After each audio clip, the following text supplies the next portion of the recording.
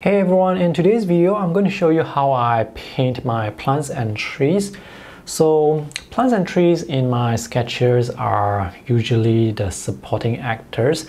They are not the main subject. If you paint them well, they can make your scene look more lively because trees are alive and they also provide this nice contrast especially against cities, um, buildings, straight lines, and the reason for that is because the shapes of trees are inorganic. So when we have inorganic shapes beside all these structural or uh, straight lines, these solid buildings, it provides a nice visual interest. In this video, I'm going to show you some examples of plants and trees in my sketches that I like as well as um, some examples that I don't like. So for this particular sketch, I try to paint the trees in a very quick and loose manner. I try to cover as large an area as possible with this light um, yellow-green and then went in to paint the darker shades with more ultramarine added. If you look closely at this sketch, I've actually drawn the outlines for the trees. So you can see some ink lines, outlines for the trees, and all these are just brush uh, tapping. And because it's ultramarine, you get to see texture. For this sketch, the trees are actually just blobs of paint. So I actually just dabbed onto the paper for all these um, trees here. You can see the shapes, they are kind of round. I cannot remember if this is because the trees are round, but this is how it looks. When I look at this sketch at a glance, I can tell that these are trees and that's good enough for me. This sketch was painted with a limited color palette of yellow ochre, Venetian red and cobalt blue. So the limitation here is you won't be able to get vibrant greens. The greens are kind of dull. So we have some plants here and there is actually a tree here, but you can see this color is obviously not green, but the shape of the tree, I think it's still there. For this sketch, the shape of the palm trees, you can see they are not that obvious. By the way, I've painted the tree trunk using, if I can remember correctly, burnt sienna mixed with some ultramarine. For the grass, I usually have yellow-green and for trees and plants in the background, I usually make them darker. The greens here were mixed with lemon yellow and cerulean blue chromium. That's why you see the granulation and that's why you can see this very beautiful, lovely yellow green. This is an example of something I don't like because the shapes are not that recognizable. As in, when I look at this sketch at a glance, it's difficult to tell what's going on. And I've drawn like all the individual leaves, it looks really messy. So the shapes here are not very recognizable. And the shapes of the leaves here also not very recognizable. We see some plants at the bottom and on the right side this is also a sketch that I don't particularly like because the shapes of the lotus leaves, they are not that recognizable. I find that sometimes I get the best results when I don't think too much. So this is an example. I just basically just drew the shapes very quickly and just painted them in this case using PY151 and cobalt blue deep. In this case, I think it works well because of the organic shape of the trees and the plants here. They contrast really nicely with the buildings in the background. More trees in the background. And here as well in the background behind the buildings. You can draw trees up close as well, but I probably don't recommend drawing the individual leaves. So for this particular sketch, I actually just drew the outline for the tree trunk, the branches, and for the leaves, they were just painted. I did not draw the leaves with pen and ink. The greens here were mixed with transparent yellow oxide PY42 and manganese blue hue PB15 and some of the darker areas um, I have anthraquinone red PR177 added. The greens for this sketch look muted or washed out and also there is not enough contrast. Everything seems to be like a mid value. So this part here, the trees in the background certainly could be much darker.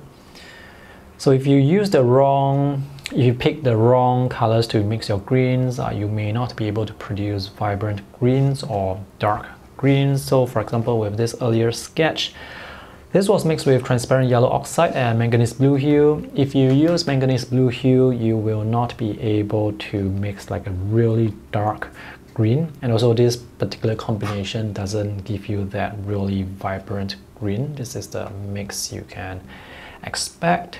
Here's another example of washed out greens. Uh, these three colors are from the Artgraf color set and the colors are not that vibrant. This looks like a cobalt blue so um, in this case, I wasn't able to mix like a really dark color to get that contrast. The colors here appear to be a bit washed out as well. When painting, sometimes I may get lazy or impatient and I don't emphasize the shape. So in this case, you can see this tree, it looks like a circular blob Whereas this tree here on the right side, you can still see some organic shapes, but here, the shape here is not that recognizable. I like the trees here. They were mixed with PY154 and PB74 cobalt blue deep. Now with cobalt blue deep, you won't be able to mix a really dark color. So if you want a really dark color, it's best you mix it with ultramarine. These are some sketches that I drew in Bali, Indonesia. So the watercolor palette that I used for this particular trip, if I remember correctly, is the Gansai Tambi watercolor set. So with that particular set, the colors, the mixtures, they are a bit chalky. So the colors, they are not as vibrant compared to other brands, which is why you see the colors, they are a bit muted. So here I actually drew a lot of leaves. Um, and here as well, I drew a lot of leaves. So if you want to draw a lot of leaves, um, you have to draw them like really quick because um, drawing all these details, they take up a lot of time. And see this shape here, which is not green. This is actually a tree in the background. I'm not that great at painting mountains or landscapes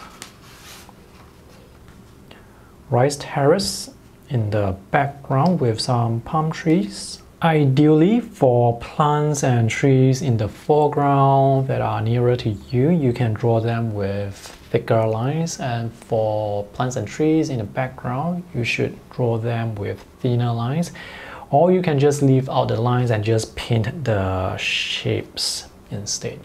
So this is also a very detailed sketch, but the colors are a bit washed out. Not just that, you can see the mixture is also not very transparent. So some of the paint actually covered the line art beneath. I actually like this sketch a lot, even though technically speaking, it's not the best. However, when I look at this sketch, I can remember the wonderful trip that I had with my friends in Bali and I can also remember there was a couple taking wedding photos here in front of this temple. When you have like a bunch of trees standing side by side, you don't have to draw the individual trees. You don't have to draw the boundary of the edges. You can just group them together as this big shape and for plants and trees in the background, again, you don't have to draw that much details because they are so far away. You shouldn't draw so much details for elements that are further away. I like this tree because the shape is very organic and sometimes I like to draw additional details at the bottom of the tree to create the shadow effect of the leaves I like the trees in this sketch because they provide these uh, inorganic shapes in this sketch where all the other elements are very angular and very straight. And now let me show you how I mix my greens. So if I were to mix my greens using primary colors, I would usually use a mid yellow, either azo yellow, Hansa yellow medium or nickel azo yellow and for the blues it's either phthalo blue or French ultramarine. Usually I use Hansa yellow medium and French ultramarine. Now if I want to save time, um, I would use pre-mixed greens like sap green and phthalo green. If I have to paint large areas of greens, then I will use pre-mixed greens or convenient greens.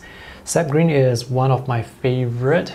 By the way, I'm using Jackson's Art paint today because I'm trying to use up the tubes. Another advantage of using premixed greens is it can help you keep your yellows clean. So if you mix your greens with yellow and blue and you dab the blue into the yellow again, um, it's going to make the yellow dirty. Yellow is a color that's very easy to get dirty and it's very difficult to get it clean again. Right, let's mix some green. So I'm going to draw um, just a tree here, some very generic tree. And for this particular tree, I'm going to have outlines for the leaves. And for the other tree here, I'm just going to draw the branches and the tree trunk without any outlines for the tree. This is just a color mixing exercise. This is PY154. So if I see greens that have yellow, I may paint yellow first and have the paint mix on the paper later. But in this case, I actually have to add a bit more water so that when I add the blue later, there is enough water for the blue to flow around. Or you can pre-mix your green on the palette like what I've done here and paint it. So for the boundary, I'm going to make this shape more organic rather than having this uh, look like a blob. So the key to actually painting um, trees is um, observation. So the more you study trees, the more accurately you can paint them. For the tree trunk, I'm going to use burnt sienna. This is pure burnt sienna and to make it darker I can add some ultramarine. Oops, the paint is still wet, that's why it's going up.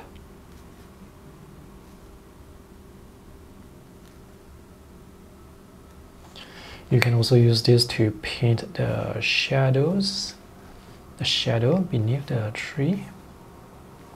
And if you don't mix the color, um, your paint completely, you can see color separation, which is uh, quite nice. So this is PY154 and French Ultramarine. And this, for your reference, is sap green this is Jackson's Arts version. This is quite nice. So sometimes when it's wet, I would add ultramarine very quickly to make some of the areas darker.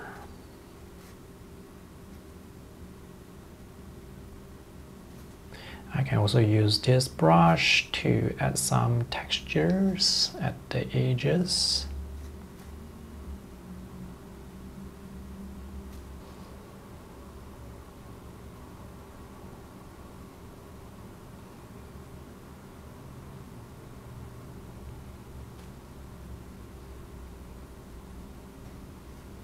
While we wait for this to dry, let's play around with other colors. So this is Quinacridone Gold. So you can mix this with ultramarine as well to get a green and it's a slightly muted green. So you can try different combination of yellow and blue to get the green you like. I recommend you use a limited color palette, basically use the yellow and blue that you are already using uh, in your sketch. So let's see what happens when we add more ultramarine here. So we can actually get a nice green.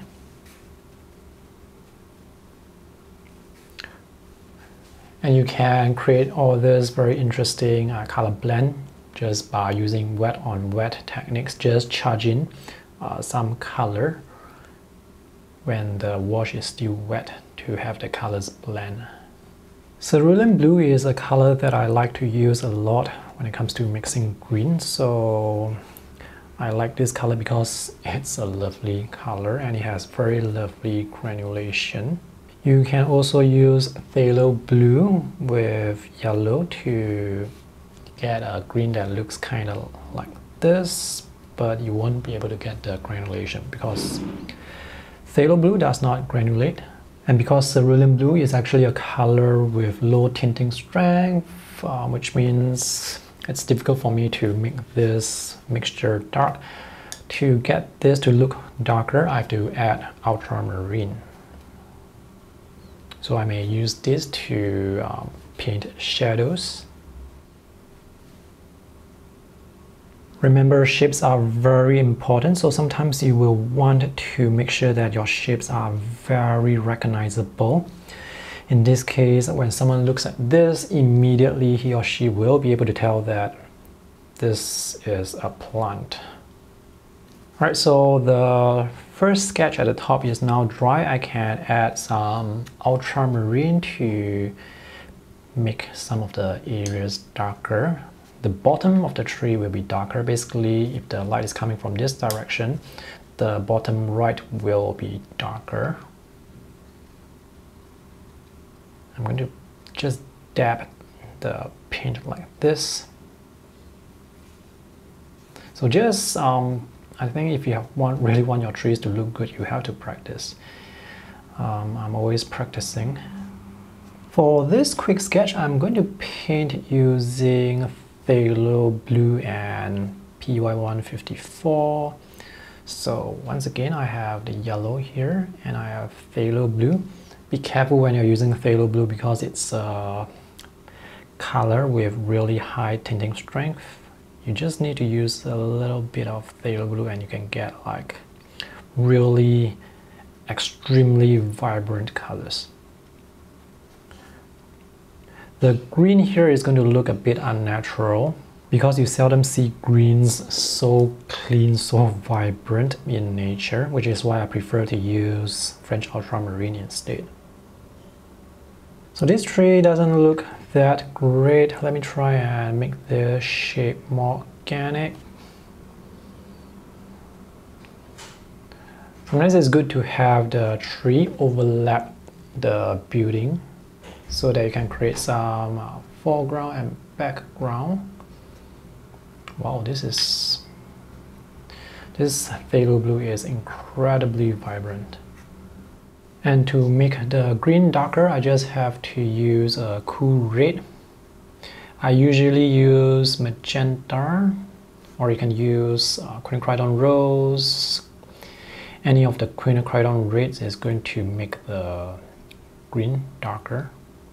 Sometimes you have to play with positive and negative shapes to make your sketch, make your painting look more interesting. So for the fans, I've decided to make it um, lighter compared to the green.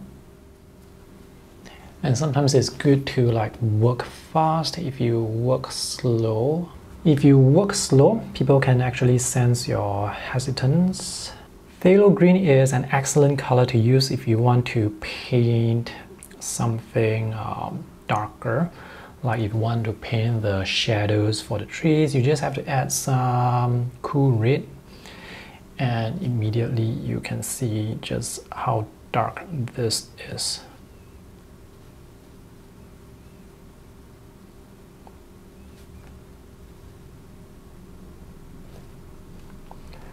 So usually when I paint my greens, um, as mentioned earlier, I would use Smith yellow with French ultramarine to paint the general green and I may use phthalo green mixed with a cool red to paint the much darker shadows.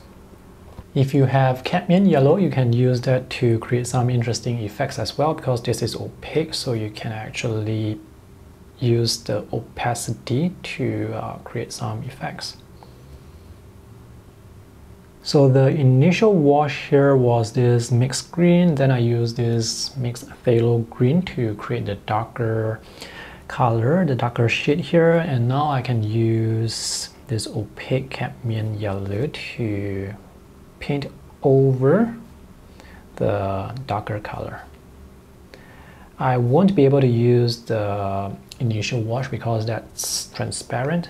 If you want to practice painting greens, uh, you can just draw a very quick sketch just to give you something to uh, paint on. So for example here I've drawn a really quick building and some trees in the background just for painting. You can just paint the trees, you don't even need to paint the buildings like what I've done earlier. If you need some reference photo, you can check out the folder or the download link that I have for you in the video description below. Oh, before you go, do consider supporting me on Patreon to help me create more tutorials like this. And my patrons get access to all the full-length drawing tutorials that I have created over the last few years. You can check out my Patreon link in the video description below. Alright, thanks for watching. See you guys in the next video. Bye!